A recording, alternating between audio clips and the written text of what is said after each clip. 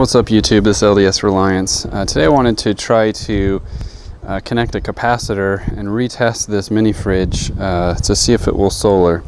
And uh, got everything hooked up and did some playing around with it. So this is going to be a quick video because the short answer is it doesn't work.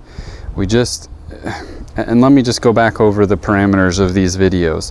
We want to use small, easily purchasable, easily affordable, easily um, usable components for kind of the beginner that's getting into solar.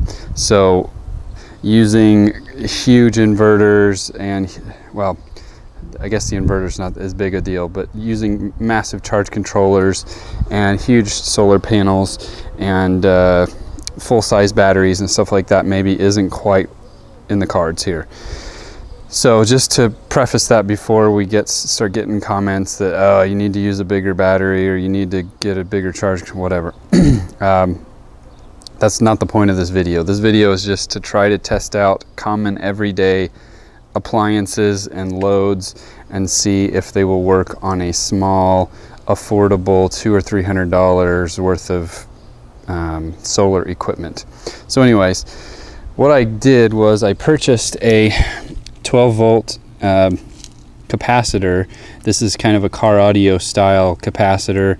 Uh, I know there's there's other uh, super capacitors that people use with solar, but this was cheap and it fits the bill.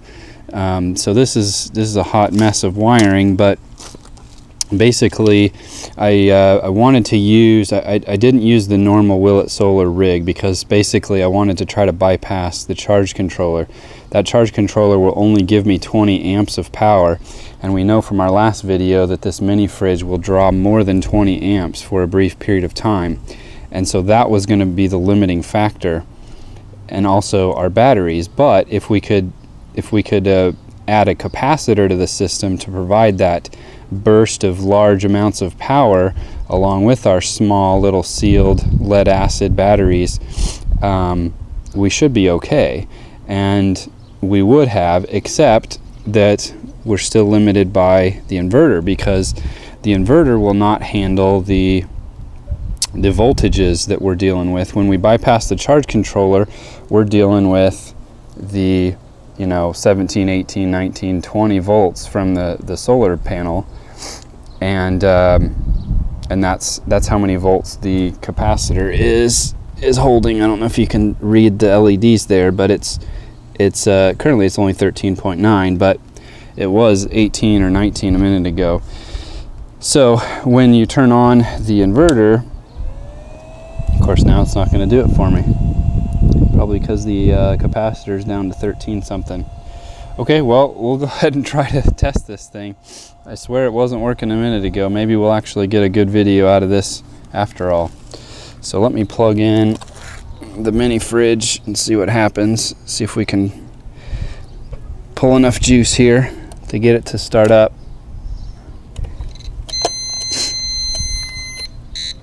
Nope.